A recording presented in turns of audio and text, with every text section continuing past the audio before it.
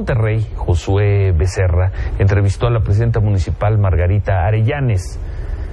La recibió en su casa, allá en, en Monterrey, y bueno, obviamente conversaron sobre las muy controvertidas palabras de la presidenta municipal cuando dijo el fin de semana que le entregaba Monterrey a Jesucristo. Vamos a ver.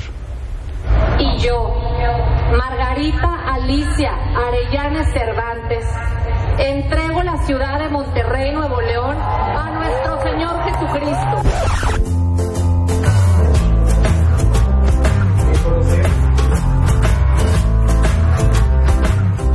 Es que mira, a veces pareciera que cuando alguien hace algo malo, nos quedamos callados.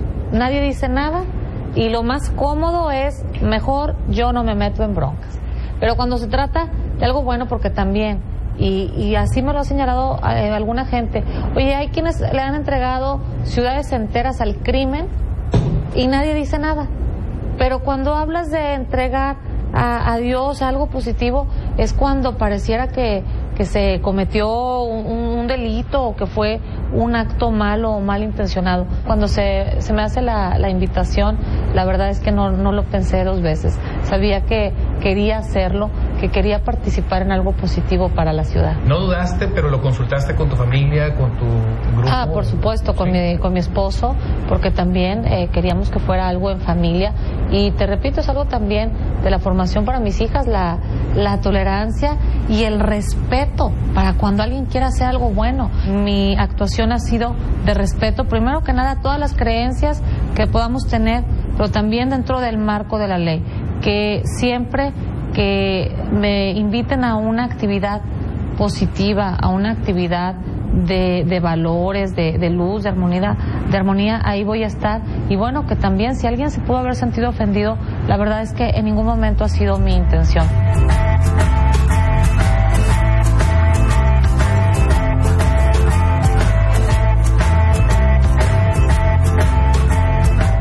No se les entregaron las llaves, porque para entregar las llaves te, tuvo que haber sido un acto protocolario, sí, eh, que se tuvo que haber llevado. Eh, sí, en ningún momento se mencionó nada más que luego así se va pasando sí. el, la, la, noticia de las llaves. En ningún momento fueron las llaves, fue eh, una entrega simbólica, uh -huh. una entrega espiritual de la ciudad. De hecho, estaban ahí eh, unos niños, porque también, uh -huh. te repito, todo fue simbólico y fue absolutamente a título personal, sin ánimos de ofender a nadie, así como en días anteriores había estado en la celebración de, eh, del aniversario de, de, la fundación de la Catedral de Monterrey, uh -huh. en donde participé también con mi familia activamente o cuando vemos eh, momentos que también he estado ahí y que han estado otros personajes de la política en las mañanitas a la Virgen. También debemos de entender nuestro himno nacional lo, lo, señala que el destino de los mexicanos por el dedo de Dios se escribió y no lo vamos a suprimir.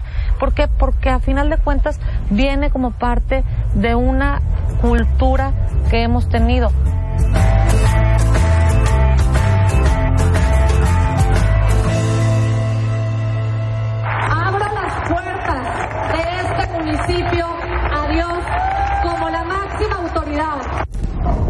Bueno, buenísimo ese apunte que hace la presidenta municipal de Monterrey. Dice, pues si en nuestro himno nacional se canta por el dedo de Dios, se escribió. Buena entrevista, una entrevista mucho más larga la que le hizo Josué. Eh, la estaremos transmitiendo en, pues, en los siguientes espacios de Milenio Noticias. Mañana a lo largo de todo el día. Estos son solo dos o tres minutos de una entrevista muy larga. Bueno, las